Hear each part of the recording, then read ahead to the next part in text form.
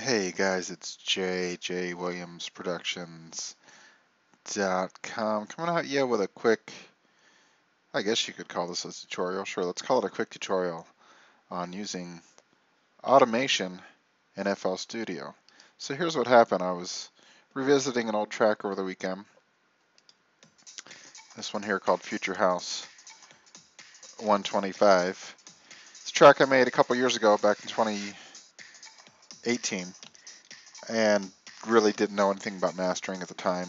So I decided, oh, let me go ahead and revis revisit this track and give it a fresh master. And then while I was at it, I decided to put a fresh spin on it. So I'm just going to, I don't know if you guys can hear the tune in the background, so I'm going to hold the mic, my headset up to the speaker for a second so you can hear what's going on before we add automation.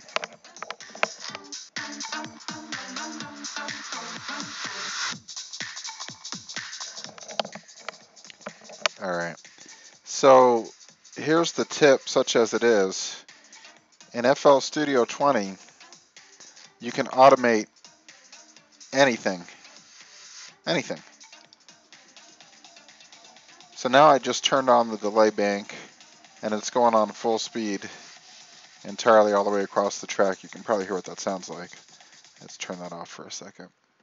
But what you can do here, guys, you can right click on that button right there next to your plugin. Right click on it and go to create automation clip. And then you see that adds a clip right there in your playlist window. And, and as you can see, it's telling you exactly what it's doing. It's the mix level.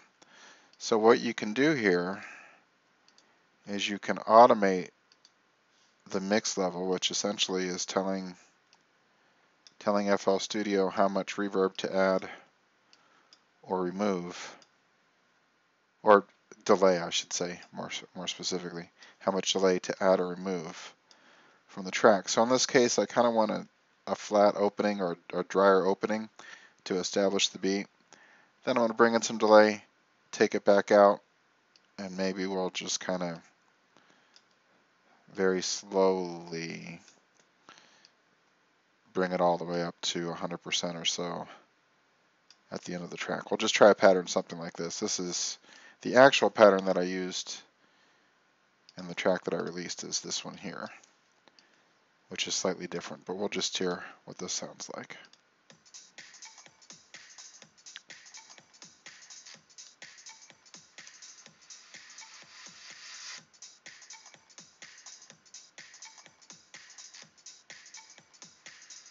So here you'll see the delay is going to start to kick in right about in here.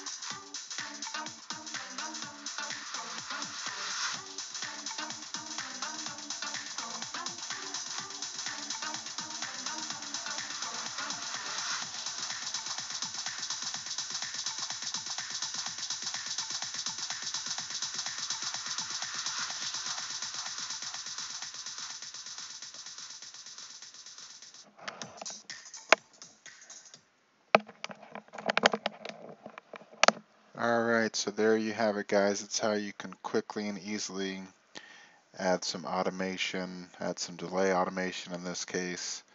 And it should be noted that the delay, the, the delay plugin is actually doing its thing steadily, but what you're adjusting with this automation clip is the mix level. So that's the extent to which we actually hear this channel with the delay bank added, something like that. Alright guys, thanks for checking it out. New album on the way in August, hope you check that out. And um, yeah, if there's anything in particular you want to know about FL Studio or songwriting or music production or what have you, feel free to comment below. And while you're here, if you enjoyed the video, I'd appreciate it if you go ahead and hit that subscribe button. And then there's a little bell icon. I'm not sure what that does, but while you're pressing stuff on your screen or phone, go ahead and hit that little bell icon too, and maybe something cool will happen for you. All right, guys, again, it's Jay, Jay Williams Productions with a little FL Studio tutorial for you. Take care. Be safe. Bye.